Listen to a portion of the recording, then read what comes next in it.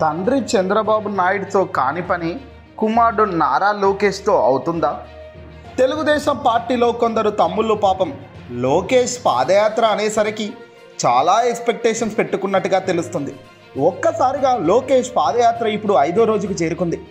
కానీ పట్టుమంటే ఐదుగురు కూడా బలంగా వెనకాల నడవలేకపోతున్నట్టుగా తెలుస్తోంది. వీళ్ళు వాళ్ళు కాదు లోకేషే. కొంచెం దూరం వెళ్ళగానే బాబాయ్ ఆపండ బాబాయ్ అంటున్నాడట. ఈ మాదిరిగా లోకేష్ తనదైన కామెడీని పండించే క్రమంలో చేస్తున్న తప్పులు ఇప్పుడు తెలుగుదేశం పార్టీ ముగింపుకు శ్రీకారం చుడుతున్నాయా అంటే అవుననే సమాధానం వస్తుంది.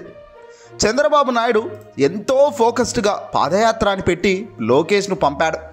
కానీ లోకేష్ అసలు ఎక్కడ ఏ కోణంలో కూడా పాదయాత్రలా కనిపించడం లేదు.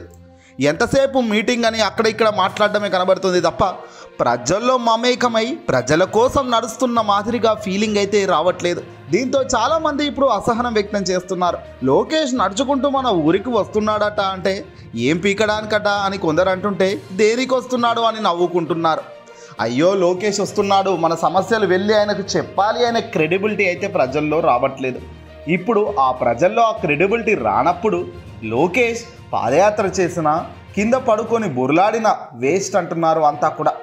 ఇదంతా కాదు కార్యకర్తలుగా సీనియర్లుగా పార్టీలో మొదటి నుంచి ఉన్న వాళ్ళ పరిస్థితి ఏంటి? ఇప్పటికీ ఓ స్పష్టత లేదు. చంద్రబాబు ఎవరిని ఎప్పుడు లేపుతున్నాడో ఎవరిని ఎప్పుడు జై కొడుతున్నాడో అర్థం కావడం లేదు. లోకేష్ పాదయాత్ర పేరుతో ఎందుకు వస్తున్నాడో ఎవరికి? ఉన్న కార్యకర్తలనే గుర్తించడం లేదు పాదయాత్రలో. ఇక జనాలనే ముద్దరిస్తాడు అని సొంత పార్టీ నేతలు అంటున్నారు. ఇవన్నీ కాదు ఇక పార్టీకి మేము రాజీనామా చేస్తామని తెలుగుదేశం పార్టీకి సంబంధించిన కార్యకర్తలంతా ముక్కుముడిగా రాజీనామాలు చేసేందుకు సిద్ధమైనట్టుగా కూడా తెలుస్తుంది. కుప్పం నియోజకవర్గం నుంచి మొదలైన ఈ పాదయాత్ర అన్నిటికీ వెళ్ళేలా రోడ్డు మ్యాపులు విడుదల చేశారు. కానీ ఆ రోడ్డు మ్యాప్ మాత్రం పబ్లిక్గా మాత్రం జనాలకు తెలియకుండా జాగ్రత్త పడుతున్నారు. ఓపెన్గా రాజకీయాలు చేయాల్సిన లోకేష్ మరీ ఇలా ముసుగులో గుద్దులాట లాగా తయారైపోయారు. తండ్రి చెప్పారనో తాను చేస్తారనో తెలియదు కానీ ఈ పాదయాత్ర ఏ ముహూర్తాన పెట్టాడో కానీ ఇప్పుడు ఏకంగా తారకరత్న బెడ్పై కొట్టుమిట్టాడుతూ ఉన్నాడు. గుండెపోటుతో తారకరత్న పరిస్థితి విషమంగా ఉన్నప్పటికీ వైద్యులు నిరంతరం శ్రమిస్తూ ఆరోగ్యం మెరుగుపడుతున్నట్టుగా ప్రకటనలు చేస్తున్నారు. ఇది సంతోషకరమైన విషయమే అయినప్పటికీ లోకేష్లో మాత్రం అసలు మార్పే లేదు. ఎంతో కషి పట్టుదల ఉండాలి.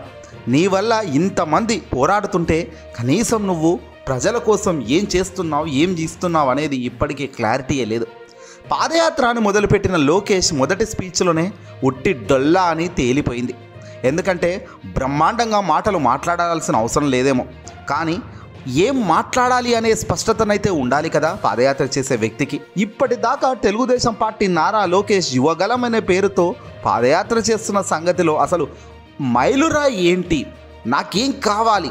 నేను ఎందుకు ఈ పాదయాత్ర ఇంత బలంగా చేయగలుగుతున్నాను చేస్తాను అని ప్రజలకు చెప్పే ప్రయత్నం అయితే లోకేష్ ఇప్పటిదాకా చేయలేదు.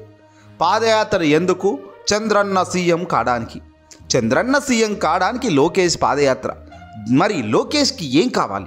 ఒక పాదయాత్ర చేసే మనిషిని రేపు పొద్దున నేను మినిస్టర్ని అవుతాను మా తండ్రి చంద్రబాబు అవుతాడు. చంద్రబాబు కోసం కుమారుడుగా నేను పాదయాత్ర చేస్తున్నాను అంతా బాగానే ఉంది. కానీ రేపు మీరు అధికారంలోకి వస్తే ఏం చేస్తారు? ఇప్పుడు జగన్ అంత దారుణాలు ఏం చేస్తున్నాడు? రేపు పొద్దున మీరు వచ్చి ఏమేం మంచి చేస్తారు? ఇవి చెప్పగలగాలి. కానీ ఇవి ఎక్కడా కూడా ప్రస్తావించట్లేదు. ఎందుకంటే ప్రస్తావించినా అది అవ్వదు అని తెలిసినప్పుడు చెప్పడం ఎందుకు? ఇక్కడే తెలుగుదేశం పార్టీ లోకేష్ డ్రామాలు మొత్తం బట్ట బయలైంది ఇక కట్ చేస్తే మరీ దారుణమైన పరిస్థితి ఏంటంటే లోకేష్ పాదయాత్రలో పేడ్ ఆర్టిస్టులను పెట్టి మరీ షోలు చేస్తున్నారు. ఇది మ- మరీ ఆయింత ఇంత కాదండోయ్. భారీ బిభత్సమే ఇది. కూరగాయలు నాలుగు టమాటాలు నాలుగు ఆలుగడ్డలు రెండు పచ్చిమిరపకాయలు పెట్టి కింద ఏ బట్ట లేనప్పుడు తెలుగుదేశం పార్టీ బట్ట వేసి వాళ్ళని ఇద్దరిని నిలబెట్టారు.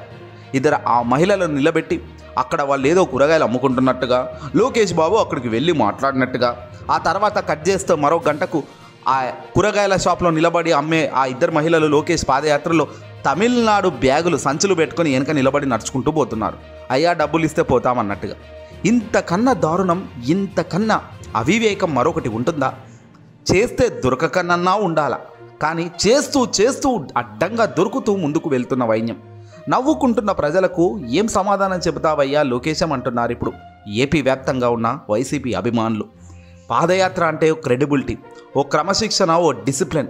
మన డిసిప్లిన్ చూసి మన పక్కనున్న వాడే వణికే పరిస్థితి ఉన్నప్పుడే మన నిజాయితీ మన నిబద్ధత బయటికి వెళ్తుంది పక్కన వాడే మనని దేకే పరిస్థితి లేనప్పుడు ఎవడూ దేకడు.